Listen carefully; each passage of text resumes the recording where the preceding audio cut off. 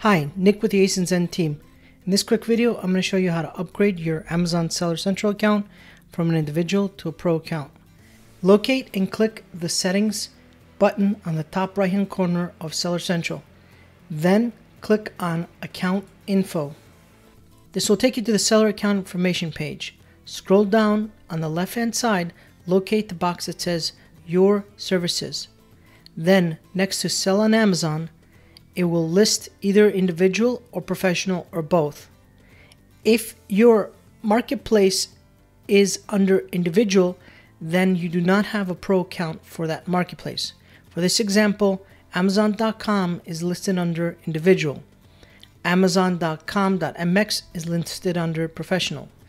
That means my Amazon.com.mx marketplace profile can sell under professional account. To upgrade my Amazon.com account from individual professional, click on Manage.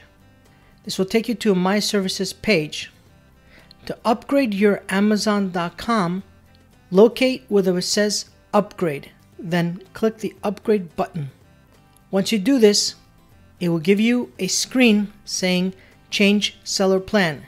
Here on the bottom, it will disclose all the terms and conditions for the professional selling plan click on Proceed, and complete the upgrade interview process. Once you complete the interview upgrade process and put in your billing information, tax information, and product information, your account will be upgraded to a professional account for that marketplace.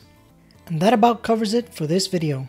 If you have any questions, reach out to a customer champion at support.asinzen.com.